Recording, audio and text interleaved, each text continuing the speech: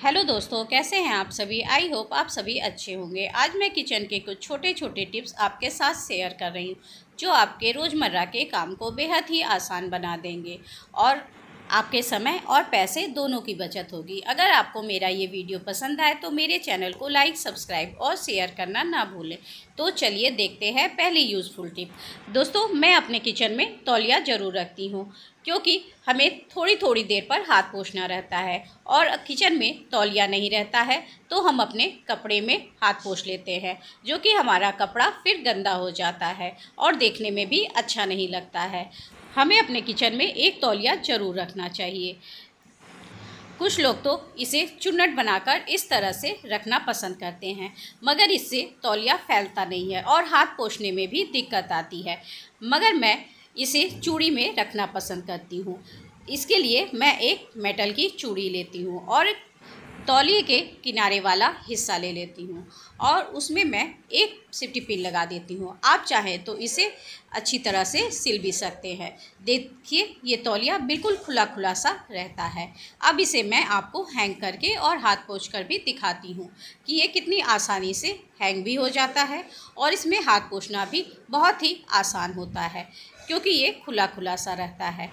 और जब भी तौलिया गंदा हो जाए तो आप निकालिए और इसे धुल दीजिए और फिर इसी तरह से आप हैंग कर दीजिए। आई होप आपको ये टिप पसंद आई होगी। तो चलिए चलते हैं दूसरी यूज़फुल टिप की तरफ़।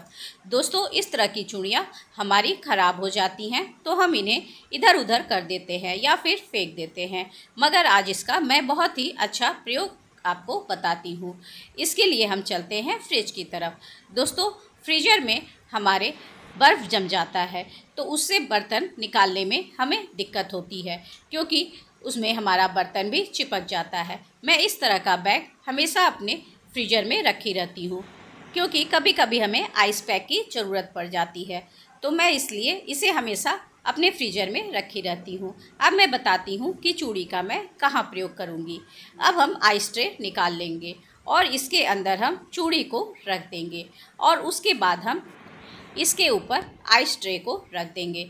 ऐसा करने से नीचे हमारे ट्रे चिपकेगा नहीं और बहुत ही आसानी से निकल जाएगा। इसमें आपको कोई भी दिक्कत नहीं होगी। देखिए, ये कितनी आसानी से सरक रहा है।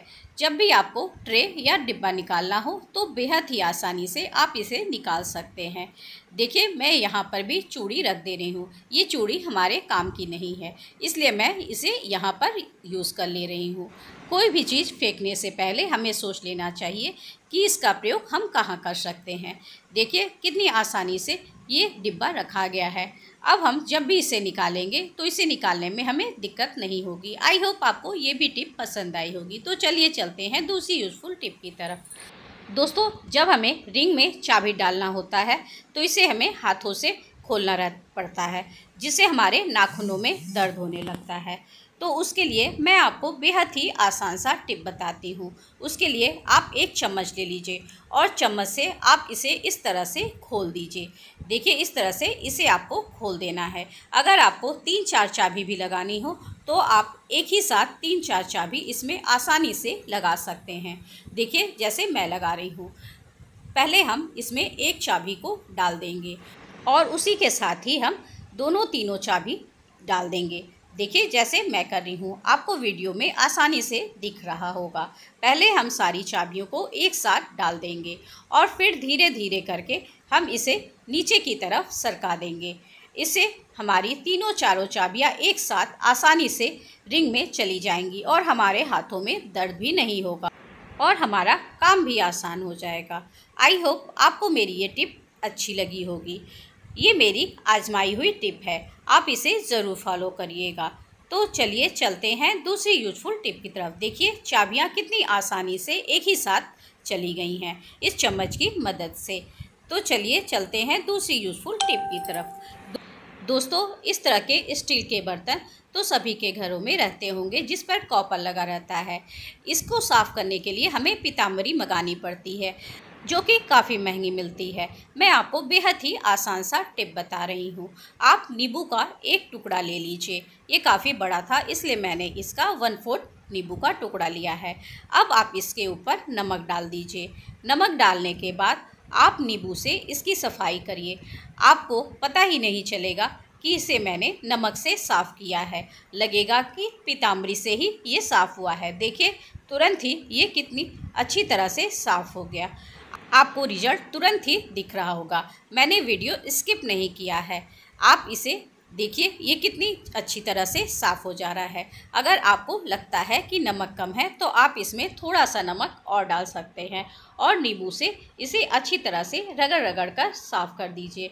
आप देखेंगे कि आपका कॉपर फिर से उसी तरह से चमकने लगा है। मुझे थोड़ा सा नमक कम लग रहा था तो मैं इसमें थोड़ा सा नमक और डाल दी और इसे अच्छी तरह से रगड़ के साफ़ कर रही हूँ। अभी आप देखेंगे कि ये कॉपर बिल्कुल चमकने लगा है। मैंने इसमें किसी और चीज़ का प्रयोग नहीं किया है। देखिए ये कॉपर कितनी अच्छी तरह से चमकने लगा है। अब मैं आपको इसको धुल कर भी दिखाऊँगी कि ये कितनी अच्छी तरह से चमक रहा है। आई होप आपको मेरी ये टिप पसंद आई होगी। देखिए, इसे मैं आपको धुल कर दिखा रही हूँ और हमारा कॉपर बिल्कुल चमकने लगा, जैसे हम पीताम्बरी से माज कर लाए हुए हैं। आप इस तरह से छोटी छोटी चीज़ें घर में ही कर लेंगी तो आपकी काफ़ी बचत होगी। तो चलिए चलते हैं दूसरी यूज़फुल टिप की तरफ़। दोस्तों, जब हमारा सिलेंडर खाली हो जाता है तो जहाँ हम इसे रखते हैं, उस जगह पर मिर्चा लग जाता है और वो देखने में अच्छा नहीं लगता है। मैं आपको इसे हटाकर दिखा रही हूँ। देखिए, इस जगह पर कितनी गंदगी हो गई है और यहाँ पर मुर्चा भी लग गया है, जो कि ऐसे साफ़ करने पे साफ़ नहीं होता है। तो इसके साफ़ करने का मैं आपको बेहद ही आसान सा तरीका बता रही हूँ। पहले हम गैस को जला लेंगे और उस पर हम रख देंगे थोड़ा सा पानी। आप सोच रहे होंगे कि हम चाय क्यों बना रहे हैं, मगर हम चाय नहीं बना रहे हैं। अब हम इसमें डालेंगे एक चम्मच चाय पत्ती और इसे हम अच्छी तरह से खौला लेंगे। जब ये अच्छी तरह से खौल जाए, तब इसे हम बंद कर देंगे। अब हमें उस जगह जहाँ पर मुर्चा लगा हुआ है, वहाँ पर हम पहले अच्छी तरह से नमक डाल देंगे। नमक स्क्रबिंग का बहुत ही अच्छा काम करता है और इससे मुरचा भी बहुत ही अच्छी तरह से निकल जाता है। अब जो ये हमने चाय पत्ती का पानी खोलाया है, उसे हम इसके ऊपर डाल देंगे और ले लेंगे एक स्क्रबर आप चाहे स्क्रबर लीजिए या फिर आपके पास कोई भी ब्रश हो, उससे भी आप इसे साफ़ कर सकते हैं। देखिए, इस तरह से इसे हमें उस स्थान पे रगड़ देना है। आपको पता ही नहीं चलेगा कि यहाँ पर सिलेंडर भी रखा हुआ था। ये बिल्कुल साफ़ हो जाएगा। अगर आपको नमक कम लग रहा है तो इसमें आप थोड़ा सा नमक और डाल सकते हैं और स्क्रबर की मदद से इसे अच्छी तरह से साफ़ कर लीजिए। दोस्तों, आप मेरी वीडियो किस शहर, किस देश से देख रहे हैं, मुझे कमेंट बॉक्स पर ज़रूर बताइएगा। मैं इस पर नमक थोड़ा सा और डाल दे रही हूँ और स्क्रबर की मदद से इसे मैं अच्छी तरह से साफ़ कर लूँगी और फिर इसे हम सूखे कपड़े से पोस देंगे। आप देखेंगे कि आपको लगेगा ही नहीं कि यहाँ पर भी कभी सिलेंडर रखा भी हुआ था। ये इतनी अच्छी तरह से साफ़ हो जाता है। देखिए ये कितनी अच्छी तरह से साफ़ हो गया है और इसकी सारी गंदगी निकल गई है। अब मैं इसे आपको सूखे कपड़े से पोछ कर दिखाती हूँ।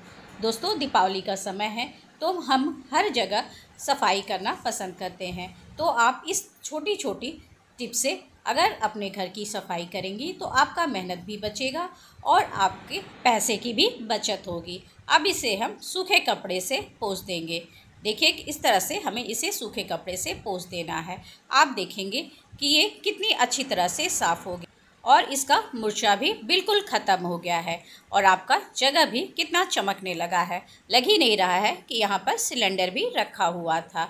आई होप आपको मेरी ये छोटी सी टिप पसंद आई होगी। आपको मेरी कौन सी टिप ज़्यादा अच्छी लगी मुझे कमेंट बॉक्स पर ज़रूर बताइएगा। Thanks for watching.